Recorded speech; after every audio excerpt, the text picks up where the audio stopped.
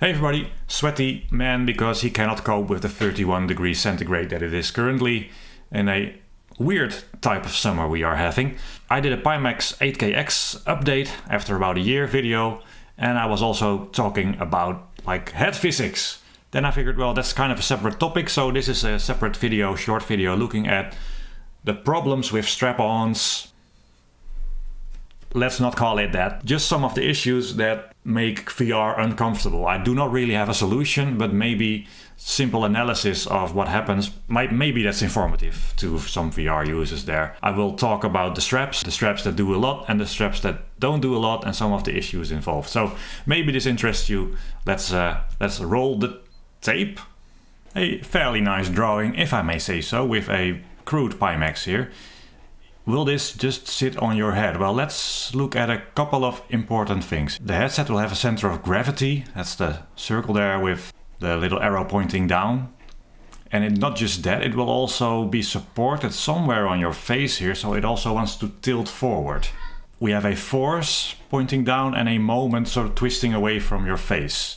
And this is what it might look like just before a very expensive headset falls to the ground. So we need to support this somehow. But how do we do that and what are the pros and cons? The first thing you could do is add like this, this purple strap from front to back and give it some tension.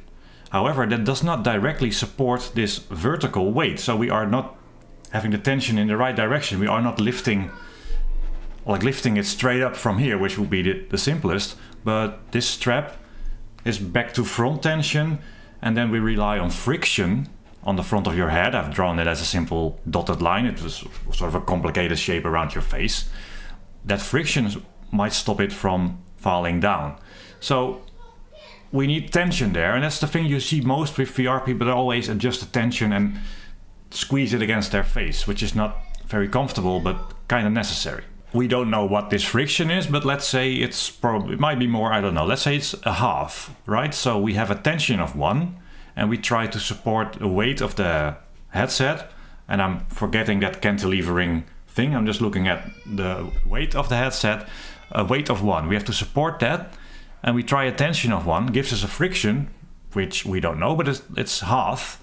So the result is we have a friction that's only resisting half and we need a force of one so the headset will let rest on your nose and move down. That's not very comfortable. So we increase the tension. So you could think increasing the tension to 2 gives us a friction of 1, supporting the weight of the headset. And now it is supported and it's pressing into our into our forehead with a force of 2. So two headsets is 1.5 kilos in, in the case of the Pimax. So that's not comfortable, but that would theoretically remove the downward weight of, of the headset. However, then we do another thing, looking up and down. Of course, bumps uh, when you're racing or you, you look at, know, at a screen or, or in a mirror, you're, you're moving your head. And that means you're accelerating. So what happens if you look down and then you sort of have impulse, you look up? That's a pretty quick acceleration of your head. And then that weight, which sits in front of you, is also going up. And if you paid attention in school, that creates an extra force. We are accelerating a weight and the force that it's needed is proportional to the weight of that thing, the proportional to the weight of your headset. So the quicker you look up, the more you accelerate your, your neck, the more effective weight that headset will have. So it could very well be that an impulse look up makes the weight uh, of the headset go up by a factor of two.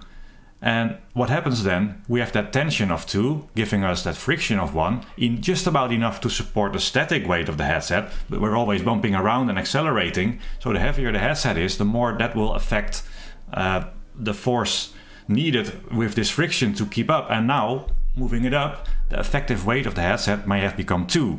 Our friction is 1. It will again rest on our nose and move down. So what can happen is we need a tension of 4, just an arbitrary number, to support a weight of 1. Because of that acceleration, it might double the effective weight of the headset, and we need that friction then of 2, because with accelerations the headset might weigh 2.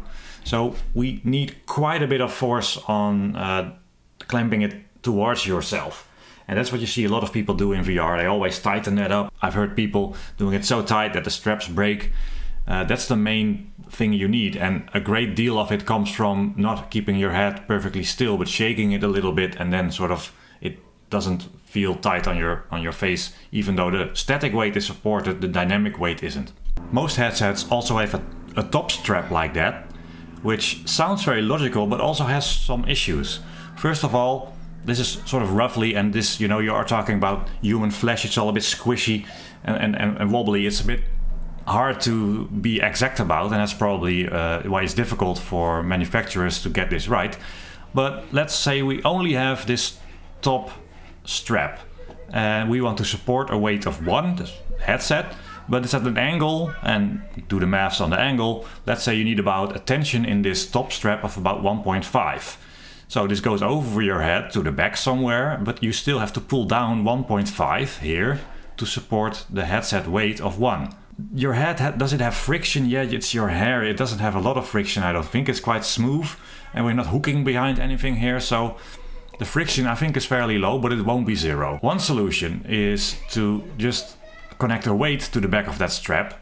In this case 1.5 because of that angle we are pulling at. And then the headset will be held up, which is quite nice. But we have an extra weight here, and that's the kicker with with uh, what I'm not really going into much detail here.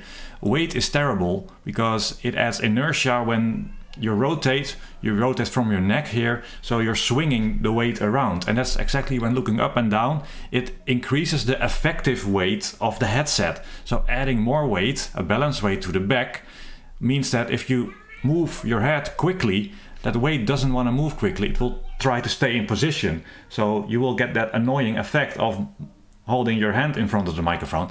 But you move your head, but the headset doesn't move with you, giving you only more sort of incentive to further tighten it up. So a ballast weight is not, I don't think is necessarily a great idea. It can support statically the weight quite well, but as soon as you're moving around, more weight is just like Lotus add lightness is better. So yes, this way you can support the vertical weight and it won't drop down on your nose. But hanging away from there is not, not great. What about the combination strap that you often see? So we have the top strap and also this earlier strap that we have here. Let's say we give it a tension of one. So we have a friction of half here, which means we have half left because half of a headset isn't enough to keep it up there. So in order to pull it up by a factor of one half, we have to pull 0.75. And this goes to the back of your head and is now a force 0.75 pulling up, like lifting it off your head like that. So the reason why I find these top straps, they don't do a huge amount because if you don't have enough tension, it will sort of fall forwards and, and pull that strap down and on the back of your head, pull it up. The recommended way to wear your headset, and this is roughly how it might look, is something like this. So you, you, you have the top strap, but you make it go down in your neck as, as deep as possible. Uh, however, when it's shaped like that, the forces don't really go like that. To my best understanding, which is uh, dubious maybe, the force will go in a straight line. If this is sort of the point where it anchors, you can make a bend in, in, the, in, in, the, in that strap but the force goes from here to there, which introduces a downward component. And it also reduces the tension a little bit. So if that tension is 1, we have 0.4-ish in this drawing, it's not perfectly to scale, 0.4 pulling down and 0.9 pulling towards you. Which means with a tension of 1, we only have a friction of 0.45 because now we have a pull force of 0.9 instead of 1 and a pull down force of 0.4 so we are already almost pulling the headset down, even if it would weigh nothing. And we have the weight of the headset. So this will still rest on your on your nose more. And of course there is a little bit of friction everywhere and the head is squishy. It's really complicated. But I think it's a reasonable sort of simplified approach to see some of the issues with how you strap it on. What I think sort of effectively happens and why, yes, it does seem to feel a little bit better the more you can get this low in your neck is that your head, your neck is a bit squishy. So what you get here, I've sort of maybe not drawn it very comfortably, but it sort of pulls into your into your neck a little bit, and then it becomes sort of sort of like an anchor point. So this is your neck, and this is the strap pulling that way, but it's it, it can't go there because it's sort of anchored in because it's pulled forward a little bit and pulled, pulled back and upwards a little bit. But this is fairly stable. If we pull down on the front here, we just, you know, we can't really move there. We sort of have to go over that neck thingy there. So that's why this is probably a reasonably good way to, to wear your headset, but it's still it's still not super ideal because the forces here, you have to move them and it's, it's all squishy and wobbly. So what ends up happening with easily happening anyway is you, you tighten it up because you tend to rely on a lot of force pressing it into your face to generate enough friction so it doesn't wobble around too much. Now I'm only looking at a side view of, of, of, your face like that. But of course, you don't do this all the time, you also do that. So you have rotation in that axis and you might yaw. So you can move in three directions, left, right, forward, back, up, down. There's one, that one, and oh, ooh, my neck. In all these motions, you have to look at how is the headset strapped and supported. But I think this side view is the most important and I'm just highlighting some of the potential issues. It's 31 degrees and I'm putting on my headset now. So what I feel is if I remove this top strap, not that much, yeah, it does rest a bit more on my nose. But if I try to tighten this very much, it will also have an effect of pulling it up on the back, which makes me almost want to dial in more force this way, have it tighter, pulling it towards my face to stop it doing that. So this top strap, while it adds a little bit of support, isn't magic because it's not really supported. So what I thought about is having something on the back, like maybe attached to, well in this case this shirt isn't very good, or surgically implanted maybe, that might be a good idea, to pull it down somewhere, because that will relieve the strain. This is far more comfortable pulling down at the back and actually relieves the pressure from my nose but in order to achieve that, by tightening this one, it will just pull up. So all you almost you can do is tighten this forward to back, clamping it towards your face, which is not really comfortable.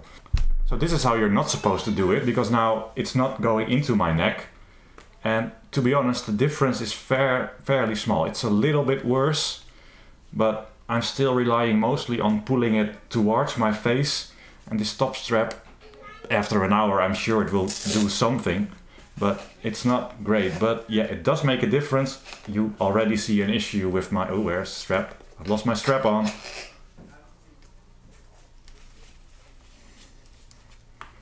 Doing it more like this is a little bit better because we are hooking into the neck a little bit and that makes it a little harder for it to slide up.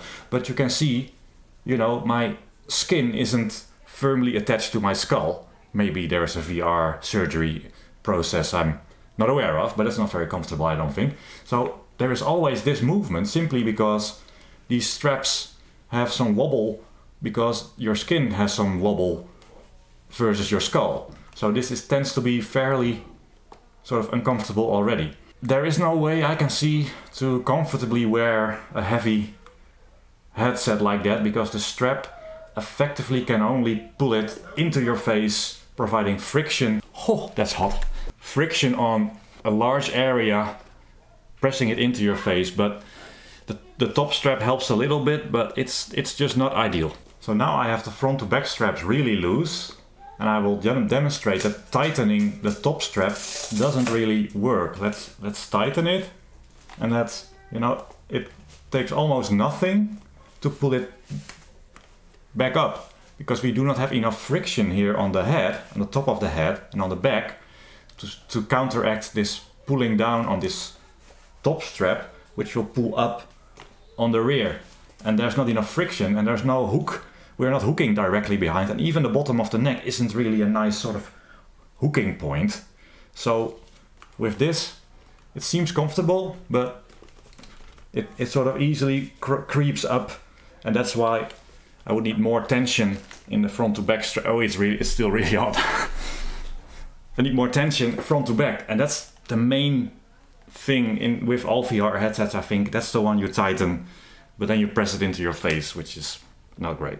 So while that may have been a video you didn't ask for and therefore didn't watch, um, maybe it provides some insight and it's incomplete and do correct my mistakes in the comments, that's why we have them. Uh, and for spam, obviously. So maybe interesting to see what sort of issues you get with strapping on your headset and how unideal it tends to be with the way that the straps are currently designed. And I've only looked at the side view of the head, there's a lot more to it as well. But I just felt like maybe the explanation of why that top strap doesn't seem to do a lot, maybe that was insightful. Anyway, um, if you did find it insightful, then that's great. So I might see you later. Bye bye.